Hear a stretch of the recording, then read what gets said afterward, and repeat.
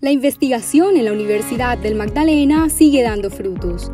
La doctora Verónica Hoyos, docente de la Facultad de Ingeniería y Científica del Grupo Fitotecnia del Trópico, publicó dos artículos en revistas indexadas en el más alto ranking del mundo de las ciencias.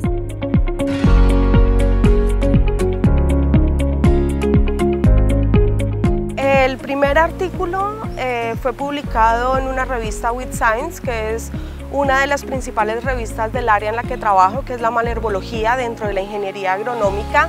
Habla sobre las evaluaciones, prohibiciones de algunos eh, plaguicidas de uso agrícola, especialmente los herbicidas, en algunos países de Sudamérica. Participaron investigadores de Brasil, Uruguay, Colombia y Argentina.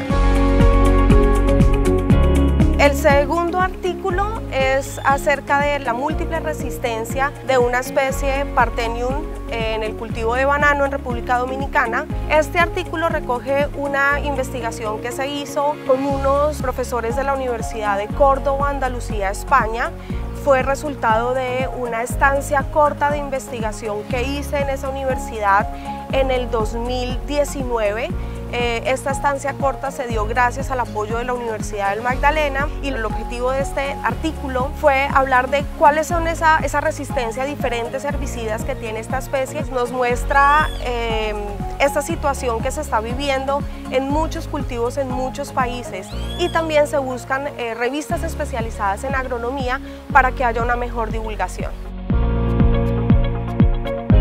profesores de la universidad y la investigación que se está realizando en la universidad es de alto impacto. Parte de ese resultado fue eh, todo lo que se vio con la categorización de los investigadores y de los grupos de investigación que se dio en la convocatoria de Colciencias. Además de esto, el apoyo que tenemos permanentemente de la universidad para que se lleven a cabo todas estas investigaciones.